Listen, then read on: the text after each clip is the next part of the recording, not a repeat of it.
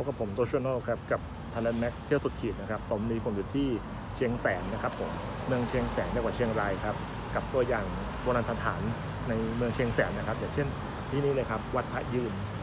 นะครับ ก็มาทางด้านนี้เลยครับคุณผู้ชมจะได้เห็นความสวยงาม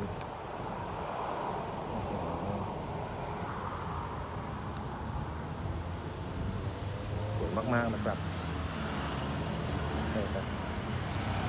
ซึ่งคุณผู้ชมสามารถอ่านประวัติความเป็นมาได้เพิ่มเติมนะครับ ผมจากการสแกนทางด้านนี้ได้เลยนะครับ ผมมีทั้งภาษาไทยภาษาอังกฤษแล้วก็ภาษาจีนนะครับ โดยที่วัดพยืนนะครับเป็นหนึ่งในวัดของเมืองเชียงแสนนะครับ ผมตำนานกล่าวว่าพญาคำภูโอรสพญาแสนภูครับ สร้างเจดีย์ขึ้นเมื่อปีพุทธศักราช 1874 เพื่อมาจุพระธาตุ 140 องค์ ต่อมาในสมัยเจ้าหลวงทิพเนศเจดีย์ได้เกิดการชำรุด จึงโปรดให้พญาหลวงชัยชิดบูรณะใหม่ เมื่อปีพุทธศักราช 2181 ครับ